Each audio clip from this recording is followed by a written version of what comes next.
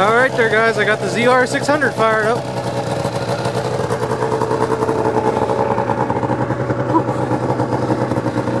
Alright, let's go for a little ride.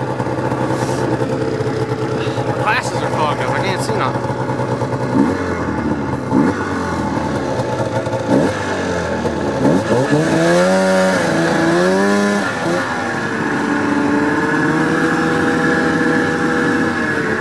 Mm-hmm. Mm-hmm.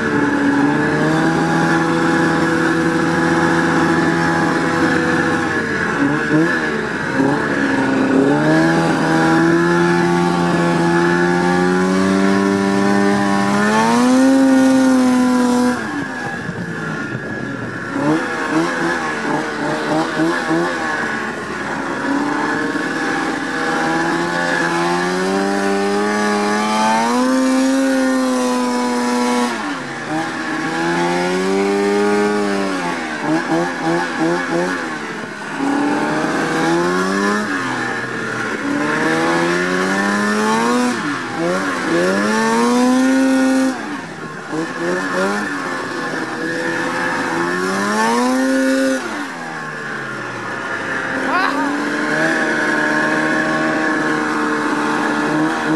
you.